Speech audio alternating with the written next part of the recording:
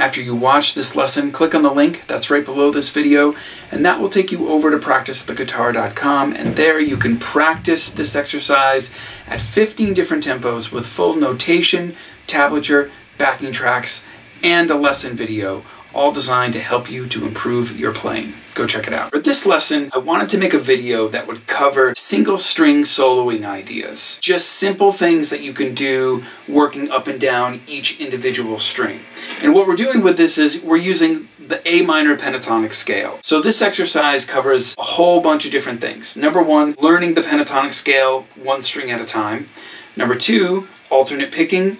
Number three, hammer-ons and pull-offs. And then number four, just keeping the position straight while you're shifting through each set and getting those connected. The first aspect to this, number one, is just making sure that you have a good handle on the pentatonic scale. So what we have is five patterns of the pentatonic scale. For the key of A minor, we're starting here on the third fret with what I call pattern 7 because it starts on G, which is the 7th degree of the scale. Then it moves to the root pattern, which starts on A, so I call this pattern number 1. And then it moves to pattern 3 because it starts on C, so and then pattern 4 starts on D. Pattern 5 starts on E. And pattern 7 actually begins over again on the 15th fret. Those are the five patterns, and we, most of us know these five patterns in this one key, but the thing that we could do to go beyond that is to work on the patterns moving in this sort of linear fashion up and down the neck. And this gets you outside of playing just inside of each one of those boxes, and it also helps you to just better learn the, the fretboard and where those patterns fall on the fretboard. Number one, alternate picking. So what's happening here is we're just alternate picking each note. So right there, I mean, just if you don't already know that, just one string is a really good workout. But of course, we want to do this on every string.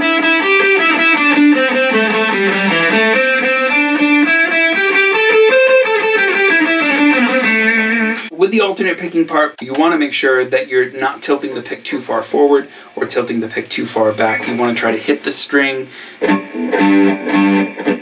just straight on. You want to avoid tilting it because it's going to give you this scratchy sound that you don't want.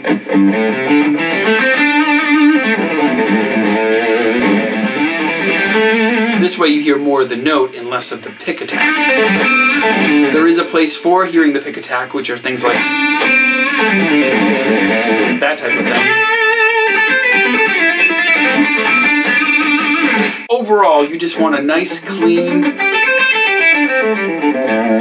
on the note. If you try to keep your pick flat, that's something that's going to help you. Another aspect of this exercise that will really help you is, of course, doing the same exact thing with hammer-ons and pull-offs. And what's happening here is rather than picking every single note, halfway through this exercise, just picking the first note out of every two notes. And because the pentatonic scale is usually two notes per string, it's not the only way to do it, but that's the most common way it's done. What I'm doing with this portion of it is just picking the first note and hammering on the second note. And when I'm going back down, I'm doing pull-offs.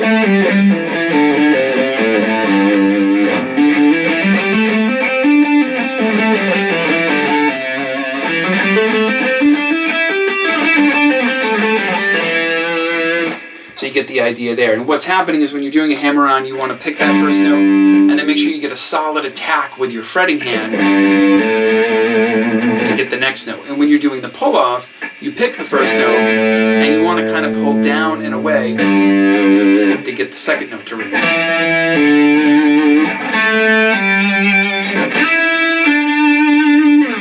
Idea to the pull-off. So that's another aspect of this exercise that you'll get to practice a ton along with the videos and the backing tracks that I put on the site. What I what I did is on the website I made just a page with all the videos at the 15 different tempos the lesson video that further explains everything that's happening and where you play each note on each string, on each fret.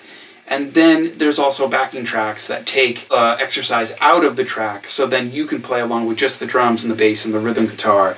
So then you can make this exercise and make whatever patterns you want to practice on your own without the guitar on the track. If these are all things that you think you'd get that you would enjoy working on, you can just click the link right below, head over to the site, everything will be there. And with the tracks, I mean, you can really practice anything you want. But of course, the length of the tracks and the way that it's, it's set up is so you can practice this exact exercise, which is really, really helpful. And if you don't know all five patterns of the minor pentatonic scale, I have individual exercises for every single one of those patterns, as well as combined exercises to help you to learn those scales better across the neck, going up and down, going diagonal, and in every single different direction I've made exercises for that stuff. I hope you enjoyed this lesson. And again, if you think you'll enjoy this, click on the link right below and check that out. Hope to see you next time.